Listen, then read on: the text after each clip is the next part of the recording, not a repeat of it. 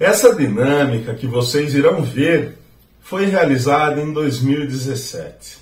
Ela tem como objetivo, pessoal, trazer uma maior empatia dos profissionais da área mediante o contexto de banho e tosa. Sempre que eu posso, e quem me conhece sabe, eu realizo em meus seminários não só essa dinâmica como outras. O resultado dessa dinâmica, bem, se eu fosse vocês, eu não deixaria de ver o vídeo a seguir. Já vi cachorro de óculos. Esse cachorro é moderno.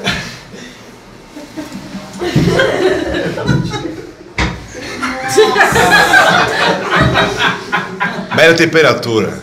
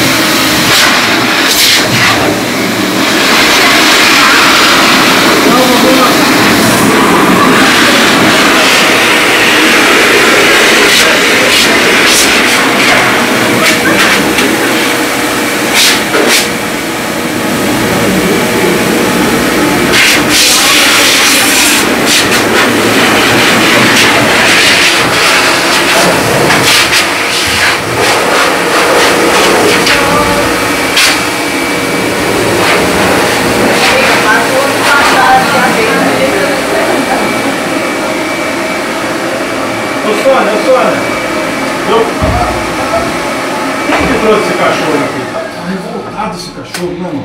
Nossa, muito bravo. Continue aí, continue aí, segura, segura. continua. Continua, isso. Põe a focinheira. Põe a focinheira nele. Pega a focinha. Isso. Ele não deixa fazer as patas, ele faz. Segura aqui. Segura aí, segura aí, segura aí. Ah, tá pensando o quê? Ele vai ver a segunda vez só. E agora, pra cortar as unhas, como que eu faço? Pode segurar? Posso segurar.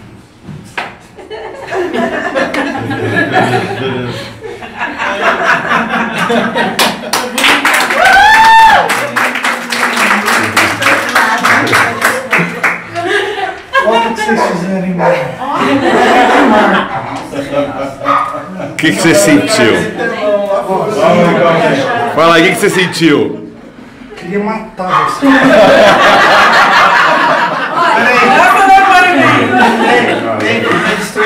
Eu vou ver quem fez e ó. Não Gostaram da dinâmica? Gerou angústia? Gerou emoções em vocês? Pois é, esse é um dos objetivos. Por quê, pessoal? Quantos cães não são diariamente tratados dessa forma nos pet shops? Por conta da já sabida mecanização e do pensamento de linha de produção, visando sempre a quantidade e não o bem-estar. Ora, o mercado já mudou, precisamos pensar mais em bem-estar. Vocês perceberam outra coisa? Que a primeira emoção que gerou no Glauber foi a raiva. Talvez ele só não tenha sentido medo porque ele sabia que se tratava de uma dinâmica, mesmo não sabendo como ela se daria. Mas e os cães, né? Quando, mediante estímulos aversivos, os cães vão emitir vários sinais de estresse e desconforto. E qual que é o objetivo disso? De comunicar a gente e eles acabam sendo sistematicamente ignorados. Aumenta-se então que probabilidade, pessoal, do estresse ou de comportamentos agressivos, reativos, no sentido de cessar os estímulos aversivos que estão sendo realizados nele. Dessa forma, ele não está sendo agressivo ou reage porque ele é dominante, porque ele é mimado, ou porque é a raça que é assim. Porque essa esse é o discurso que eu vejo constantemente os tosadores justificarem. E com base nisso eles ficam falando, é dominante, isso, aquilo. Na verdade, pessoal, isso é um grande engano e não explica nada e não ajuda em absolutamente nada, inclusive em intervenções.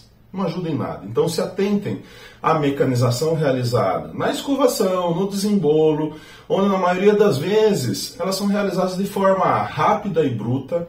Se atentem também no manuseio, na proximidade do secador, do soprador, o tempo de exposição e como todos os estímulos são apresentados ao cão durante o processo.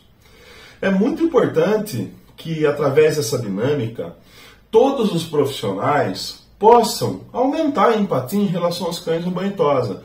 E nem que seja minimamente, mas refletir na necessidade de um manejo de baixo estresse. Haja visto que muitos cães vêm a óbito durante o banho tosa. Sim, vêm a óbito e tem pesquisa que traz esses dados. Por isso, espero que vocês tenham gostado do vídeo. Eu estou aqui sim para ajudar cada vez mais os profissionais da área que queiram ter o conhecimento necessário para praticarem low stress. Então, contem comigo sempre. Grande abraço a todos e vamos que vamos, pessoal. Valeu!